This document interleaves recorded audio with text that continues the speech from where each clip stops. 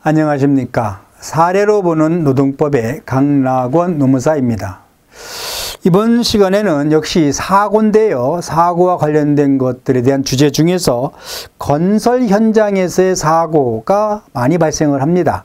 이때 건설 현장은 어, 원 발주자가 있고 그다음에 원청 그리고 하청 뭐 2청, 3청까지 내려가는 경우에 이제 복잡한 법률 관계를 갖는 경우가 있기 때문에 좀 특수한 상황들이 많이 발생을 합니다. 그래서 건설 현장 사고와 관련된 법률적 분쟁에 대한 내용들을 좀 살펴보는 시간을 좀 갖도록 하겠습니다. 먼저 그 건설 현장에서 사고가 발생했을 때에 관련되는 법률이 뭐뭐가 있느냐 하는 것 관련돼서는 먼저 이제 음, 건설 현장의 구조는 이제 발주청이 있겠고요. 그다음에 원청이 있고 그다음에 하청이 있고 여기에서 근무하던 근로자가 어, 재해를 당했을 때에 관련된 내용들이 일반적이거든요. 이런 경우일 때 어, 특히 이제 그 하, 하청회사 소속의 이 근로자라고 하더라도 근로계약 근로계약은 하청회사와 맺었지만 하청회사 소속 근로자들이 열악한 환경이 있다라는 특성 때문에 산재는 산재는 원청에서 처리하도록 돼 있다라고 하는 겁니다. 이것은 반드시 뭐 큰 건설 현장뿐만 아니고요. 조그만 어떤 수리 에, 동네 에, 뭡니까 그 보수 업체 같은 데에서도 많이 발생하는 그런 분쟁 중에 하나입니다. 산재는 원청에서 처리합니다. 하지만 에, 산업안전보건법상 취해야 될 법적 의무 우리가 살펴봤었는데요. 그것은 계약의 주체인 하청회사 예, 산업안전보건법상의 법적인 의무 법적인 의무는 요 하청회사가 책임을 지게 되는 겁니다. 물론 현장에서 업무상 과실로 인한 예, 과실치상 내지는 과실치사의 형법상의 책임은 누가 부담하는 것이냐? 물론 그것은 어, 원청의 현장 관리자들이 직접적으로 요 사고에 관여가 있다면 공동 불법 행위를 구성하게 될 것이겠고요.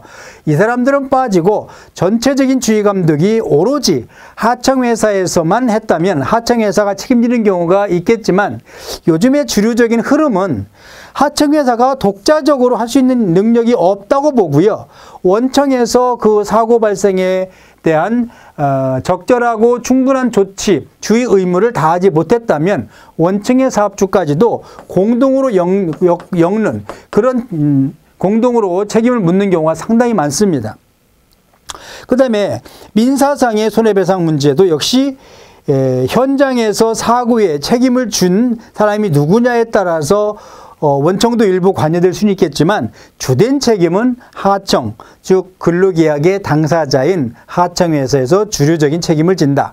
다만 원청에서는 단 1%만 책임이 있다 하더라도 부진정 연대 책임 관계로 인해서 근로자들이 상대적으로 부유한 원청에다가 손해배상을 청구를 하게 되면 이 회사는 사회적인 평판 등을 감안해서 나머지 100%를 부상하고 100%를 원청에서 보상하고 이 하청에 대해서 구상 99%의 구상권을 행사할 수밖에 없는 구조이기 때문에 사고가 일단 발생했다 하게 되면 그 주된 책임은 원청에서 주로 부담하게 된다 하는 점을 좀 아실 필요가 있습니다.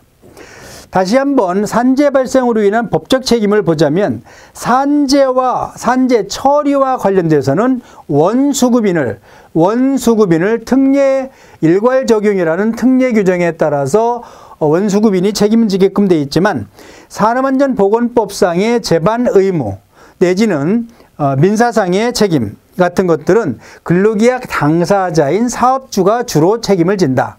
하지만 최근에 사람안전보건법상의 책임이나 형사상 책임 문제가 원청도 아주 자유롭게 놔두질 않고 있습니다. 상당한 정도 많이 공동으로 공동 불법행위 책임을 구성하는 경우가 많기 때문에 사업주들이 긴장을 좀 많이 해야 될 것이다. 이런 부탁 말씀드리고요. 그 다음에 산재 발생으로 인한 민형사상 아, 책임관계 문제를 어, 근로자 영역과 사업자 영역으로 나눠봤을 때 이것은 다시 말하면 손해배상상에서의 과실의 정도를 누구에게 더 줄 것이냐 하는 정도의 문제가 될 수도 있어요.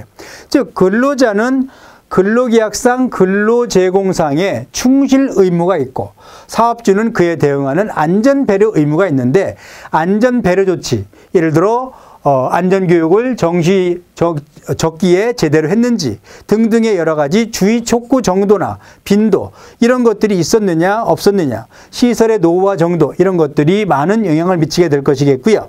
반대로 근로자는 그러한 사업 그러한 정도 사고에 대해서는 충분히 노하우가 있기 때문에 그 업무를 수행한 초년병이냐 그렇다면 사업주 과실이 많겠고요. 숙련도가 많은 여러 해 동안 근무를 했느냐 나이 그 근무 연한 또 교육의 기회 또 전임자와 후임자 간의 인수인계 정도 이런 것들에 따라서 사업주 과실이 우선 좀 많겠지만 근로자 과실도 만만치 않다. 그 상계를 얼마만큼 할 것이냐 말 것이냐 이런 것들이 결정되는 어, 판단 요소가 될 수 있겠다 하는 겁니다. 그래서 건설 관련된 산재에서도 마찬가지로 원청이 산재 책임은 지지만 계약 당사자인 하청회사에서 사람안전보건법 또는 민사 형사상의 책임이 주된 책임은 있지만 최근에 경향상으로는 원청 책임이 만만치 않다는 점 감안하셔서 전문가와의 협의를 통해 사고를 해결하시는 개념이 좀 필요하겠습니다.